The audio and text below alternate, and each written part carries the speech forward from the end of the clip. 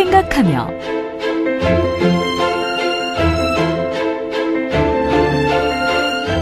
안녕하세요. 걸으며 생각하며 여행 작가 문일식입니다. 한국 전쟁이 발발한 지 60년이 지난 지금도 경기도 파주부터 강원도 고성의 동서에 이르는 길에는 DMZ가 있고 민간인 통제 구역이 있습니다. 이곳은 출입 절차를 밟아야 안보 여행 또는 민간인 통제 구역을 들어갈 수 있습니다. 경기도 김포에는 출입 신청을 받아야만 들어갈 수 있는 농촌 체험 마을과 캠핑장이 있습니다. 바로 김포시 월권면에 있는 매화 미르마을입니다. 매화 미르마을은 민통선 안에 위치한 마을로 강을 건너 북한의 개풍군이 인접해 있습니다. 매화 미르마을은 환경부 지정 멸종 위기 2급 식물인 매화마름과 마을의 유래를 전하는 용의 순 우리말인 미르를 따서 붙였습니다. 매화 미르마을은 강화도 초지리와 함께 매화마름 군락지를 품고 있습니다. 또한 마을 내에 작은 연못이 있는데 이 연못은 용이 승천한 연못으로 전합니다.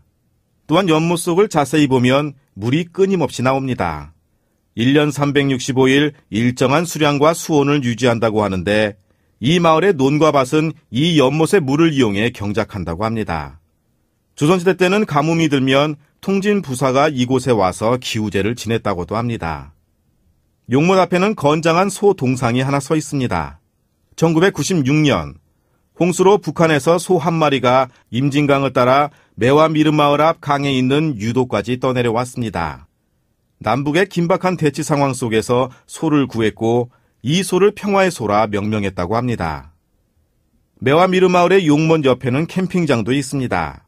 얇게나마 잔디도 깔려 있고 마을에서 진행하는 체험도 할 수 있어 주로 가족 단위의 캠핑객들이 자주 찾습니다.